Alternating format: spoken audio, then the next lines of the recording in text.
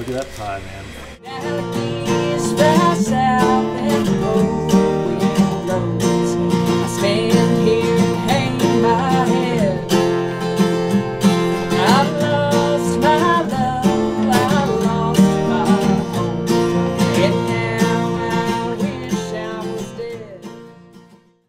Well, just hiking out of Pie Town. Had some kind of gnarly blisters coming in, but uh, spent three days resting them.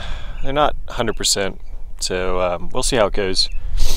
Just glad to be back on the trail. Sometimes towns can be kind of like a little bit of a vortex, so at the end of the day, my job is to keep moving north, and that's what I'm going to do.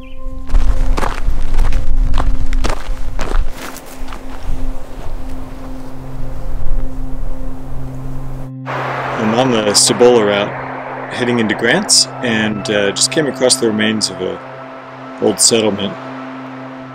You can kind of see one of the foundations right there, just a partial foundation. And then this old cabin right here. So let's go check it out.